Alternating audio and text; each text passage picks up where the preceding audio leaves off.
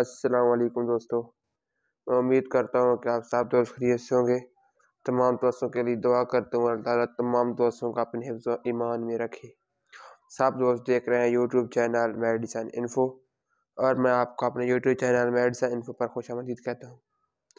और जिस मेडिसन के मतलब मैं तमाम दोस्तों को इन्फॉर्मेशन दूँगा वह है ऑक्सीडियल इंजेक्शन ऑक्सीजन इंजेक्शन के बारे में बताने से पहले मैं तमाम दोस्तों से एक रिक्वेस्ट करता हूँ कि जिन दोस्तों ने अभी तक हमारे यूट्यूब चैनल मेडिसन इन्फो को सब्सक्राइब नहीं किया, सबसे पहले हमारे यूट्यूब चैनल मेडिसन इन्फो को सब्सक्राइब कर लें, ताकि हमारी और बेल आइकन का बटन दबाना ना भूलें, ताकि हमारी हर नई आने वाली वीडियो तमाम दोस्तों तक बसानी पहुँच जाए और तमाम दोस्तों को मेडिसन के मतलब मुकम्मल इन्फॉर्मेशन हासिल हो सके।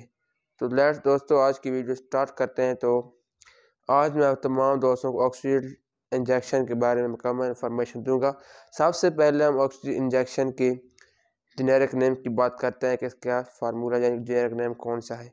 ऑक्सीजन का जेनेरिक नेम है सेफ्ट्राक्जोन सोडियम सेफ्ट्राक्जोन हमारे पास एक एंटीबायोटिक फार्मूला है और ऑक्सीजन हमारे पास किस किस्म की एमजी में आता है, यानी कि हमारे पास ढाई सौ एम में आता है, पाँच सौ में और वन ग्राम और टू ग्राम में भी आता है।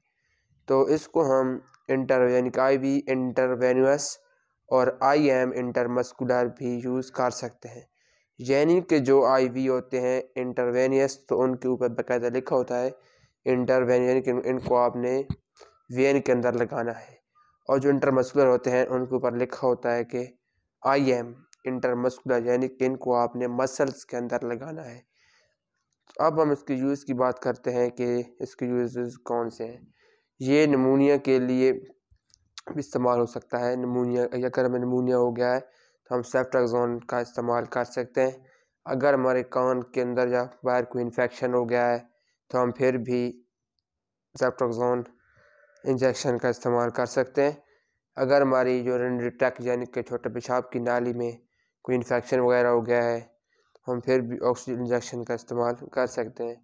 बोन्स जॉइंट हड्डियों वगैरह में कोई इन्फेक्शन है, या हमें दिल के अंदर दिल की कोई इन्फेक्शन है तो हम सेफ्ट्राक्जोन का इस्तेमाल कर सकते हैं। अगर हमें सांस की नाली वगैरह में कोई इन्फेक्शन हो गया है तो हम सेफ्ट्राक्जोन का इस्तेमाल कर सकते हैं। ये दोस्तों थे इसके यूजेस अब हम इसके साइड इफ़ेक्ट की बात करते हैं कि इसके साइड इफ़ेक्ट कौन से हैं। इसके यानी कि ओवर डोज लगवाने से ज़्यादा इस्तेमाल करने से हमारे अंदर कौन सी बीमारियाँ पैदा कर सकता है।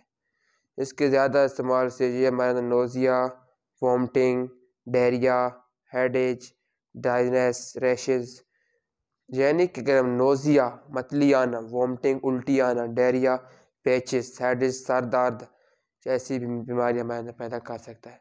और हम इसकी डोज कंट्राइंडिकेशन की बात करते हैं। वो पेशेंट जिनको सेप्टाजोन सोडियम फार्मूलस एलर्जी हो वो भी इसका इस्तेमाल ना करें। किडनी डिज़ीज़ वो पेशेंट जिनको किडनी गुर्दों का मसला है वो भी इस का इस्तेमाल ना करें। तो अगर दोस्तों में गुर्दों का मसला है तो हम फिर भी इसको इस्तेमाल नहीं नहीं कर सकते। अगर हमारी गॉल स्टोन का कोई प्रॉब्लम है तो हम फिर भी इस, इसका इस्तेमाल नहीं कर सकते। तो लेट अब हम दोस्तों इसकी यूज़ इसकी डोज़ की बात करते हैं इसकी डोज़ कैसे इस्तेमाल करनी चाहिए। अगर दोस्तों हमें ये हमारे पास ढाई सौ फाइव वन ग्राम और टू ग्राम में अवेलेबल होता है।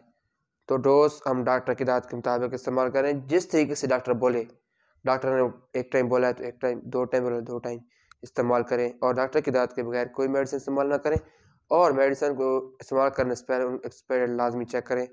अगर मेरी वीडियो पसंद आई हो तो मेरे यूट्यूब चैनल मेडिसिन को लाजमी सब्सक्राइब करें। इलाफ